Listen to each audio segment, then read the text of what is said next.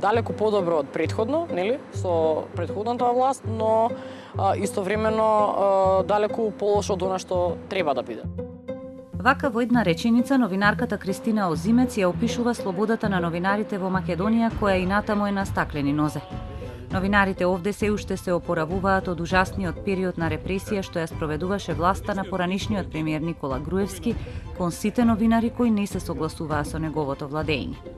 Последната анализа на самостојниот синдикат на новинари, направена во јули и август минатата година, само неколку месеци откако Груевски ја изгуби власта, покажува дека новинарите во Македонија работат во небезбедни услови, дека се тепани, киднапирани и навредувани, а дека институциите не успеваат да ги казнат насилниците.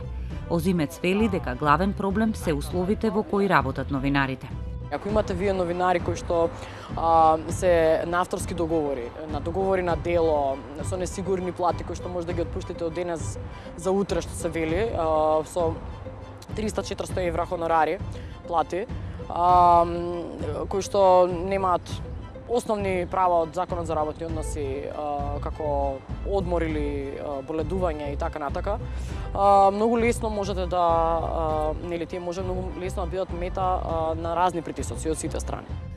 Извештајот на новинарскиот синдикат покажува дека 45% од новинарите имаат плата помала од македонскиот просек, а повеќе од половина од новинарите немаат редовно вработување и им доцнат платите. Ваквата лоша социјална положба на новинарите, собствениците на медиумите го користат да извршат притисок врз нив да влијаат на нивното пишување. Тие им се закануваат на новинарите со отпуштање, па дури и со физичка, со физичко насилство, за да не ги критикуваат големите огласувачи.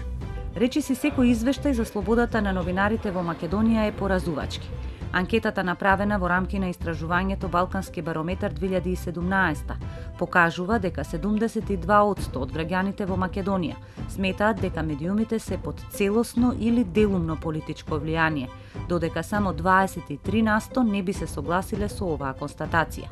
Но, за да постои слободно новинарство, критичко новинарство, треба да постои потреба кај граѓаните за тоа, вели директорката на Македонскиот институт за медиуми Бијана Петковска. Во изминатите десетина години во Македонија на вистина имаше голема политичка пресија од страна на власта врз слободните новинари, слободните медиуми и тоа доведе до до една тотално девастирање на оваа професија и некако и луѓето како да се навикнаа да очекуваат а, пропаганда во медиумите. И затоа ќе ни треба долго време за една рековалесценција, би рекла, на нова професија. Не дека предходно, пред десетина години, состојбите биле идеални, но сепак ние имаме еден, еден реверзибилен процес. Ние постојано се враќаме назад, наместо да одиме напред. Петковска зборува токму за времето на предходната власт на ВМРО ДПМН, кога медиумите беа речиси под целосна контрола, а слободното новинарство беше во изумирање тоа беше режим и а, тоа беше еден а, целосно значи игнорантен, пред се игнорантен однос, а, а, значи однос во кој што или ќе ве игнорираат дека не постоите, нели? А, нема да воопшто да ве факторизираат никако. А, и ќе на тој начин ќе ве маргинализираат вас и вашиот медиум. А, или пак а, ќе тираат хајки. Лошото момче на Балканот Вака репортери без граници ја нарече тогаш Македонија во извештајот кој го мери индексот на слобода на новинарите. Репортери без граници ја оценува земјата според независноста на медиумите, законите и безбедноста на новинарите. А Македонија во извештајот за состојбите во 2016 година беше рангирана на 111-тото од 180 земји во светот, последна од сите земји во регионот. Попластично кажано, организацијата ја смести Македонија со земји како Белорусија, Казахстан и Таджикистан. А само пред 8 години, Македонија на истата листа беше на 34-тото место. Политичката нестабилност влијае на работата на новинарите и притисокот од владеачката партија ги натера некои од медиумите сами да се цензурираат. Новата власт предводена од СДСМ на премиерот Зоран Заев, која дојде пред 8 месеци, ветува слобода и за новинарите и за медиумите. Новинарите сведочат дека притисоците се намалени, дека има известни подобрувања, но дека се уште е рано да се даваат било какви оценки.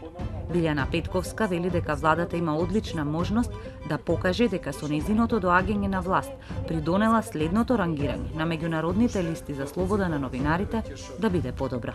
Слободата значи пред се одговорност. Одговорноста треба да биде кај сите кои што имаат удел во креирањето на а, медиумската стратегија во државата и во функционирањето, функционирањето на, на медиумите и како економски субјекти, а, но и како а, а, чувари на обштеството, една совест на обштеството.